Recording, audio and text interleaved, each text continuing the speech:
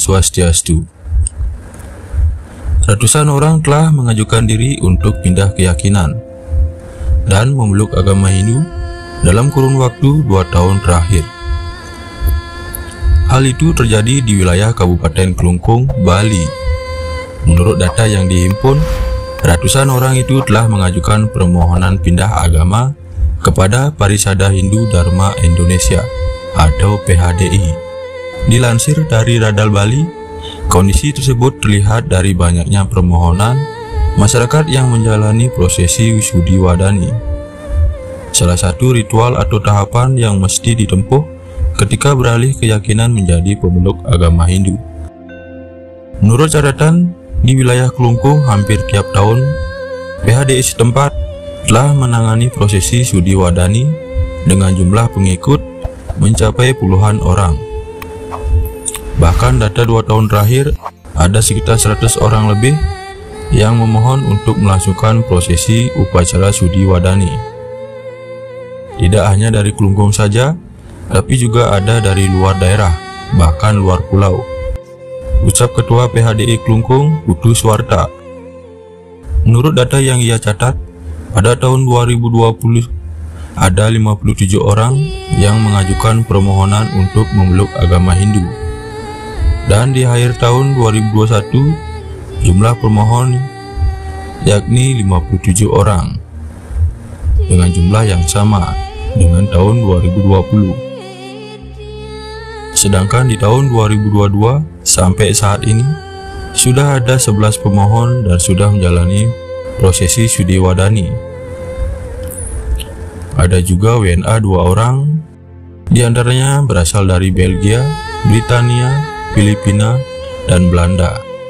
Karena terikat pernikahan dengan orang Bali, akhirnya mereka mengikuti kepercayaan agama Hindu. Jelas Suwarta. Ritual sakral itu dilakukan dengan terbatas, sesuai dengan protokol kesehatan COVID-19. Tetap menekankan protokol kesehatan agar tidak terjadi kerumunan yang berlebih, kata Ketua PHDI.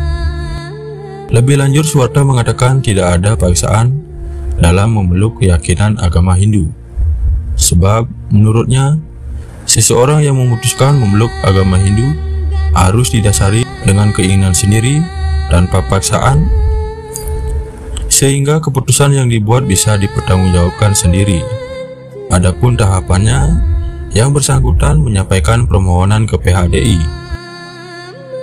Suwarta menegaskan seseorang yang memutuskan untuk memeluk agama Hindu harus didasarkan pada keinginan sendiri, tanpa paksaan, dan dapat dipertanggungjawabkan. Untuk tahapan pun berjenjang, diawali dengan menyampaikan permohonan ke PHDI. Pihak keluarga pemohon juga wajib tahu alasan dan tujuan, sehingga diketahui semua pihak termasuk nanti dengan aparat desa. Setelah dinyatakan sah, akan ada pembinaan dari PHDI Kelungkung. Ini dapat dijadikan bekal atau pedoman dalam menjalani kehidupan sesuai ajaran Hindu. Om Om Tat Ekam Tat Ekam Eva Eva Adityam Adityam Brahman Brahman bahwa Sang Yang Widi bahwa Sang Yang Widi adalah tunggal adalah tunggal dan tidak ada duanya dan tidak ada duanya Brahman Brahman Atman Atman karma, karma, samsara, samsara, dan moksa, dan moksa. Adalah lima pokok, adalah lima pokok. Keyakinan, keyakinan. Atau pancasrada, atau pancasrada. Agama Hindu, agama Hindu. Tiga, tiga, moksartam, moksartam, jagadita, jagadita, caiti, caiti, dharma, dharma. Bahwa kebahagiaan rohani bahwa kebahagiaan rohani yang kekal abadi yang kekal abadi serta kesejahteraan duniawi dan serta kesejahteraan duniawi adalah tujuan adalah tujuan dari dharma agama Hindu. dari dharma agama Hindu. Empat. Empat dengan kepatuhan dengan kepatuhan dan kesetiaan dan kesetiaan menjalankan ajaran agama Hindu, menjalankan aga- ajaran agama Hindu, kebahagiaan pasti tercapai. kebahagiaan pasti tercapai. Untuk menepati maksud dan tujuan